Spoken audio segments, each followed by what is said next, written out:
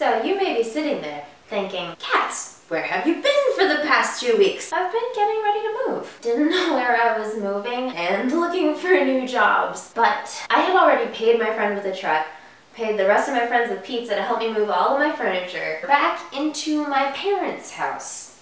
And then I was just going to couch hop until I found a home because they have dogs and I'm allergic to dogs. that and I had been applying for jobs left and right and I just could not get an actual reply to an application. Once I get to the interview phase, things go really smoothly. It's not too often I interview for a job I don't get. I'm kind of overqualified as a nanny, but I didn't have a new job yet. So I'm, you know, working for like multiple families part-time and getting real tired of it and just tired, not wanting to be homeless and uh, well, kind of just like giving hope. In my mind, I was like, you cats are fucked.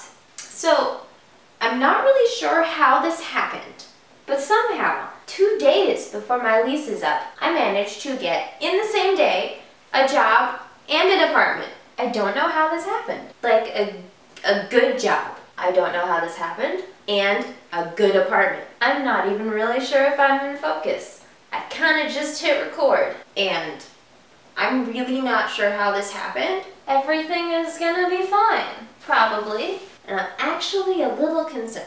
I'm a professional. Give me your apartment. I'll be doing more music. I need to pack. And I have two boxes. that is not enough. I forgot to say before, yes, I got a new job. You're like, ah, what are you doing? Well, I still work as a nanny, except now I'll be working, instead of for two families, kind of intermittently, I'll be working for one family uh, almost full-time, which will be very nice. Goodbye, family, where the father likes to hit on me when he's drunk at 3 a.m. It was nice working with you. Your children are lovely. But no. No. No. Besides that, any other questions? Do you really Rainbow Embroidered Heart New York? Yes. Yes, I do. What is this? It is, um, a holographic windbreaker, I think the term is. It's, it's a, it's like a raincoat. It's got a hood. And by that I mean it's raining outside and this coat is still very cold and wet, but look how shiny it is. Like, it's so shiny. Ooh. Look at that sleeve. I tried it on as a joke, but it makes me happy. And isn't that what matters? Happiness.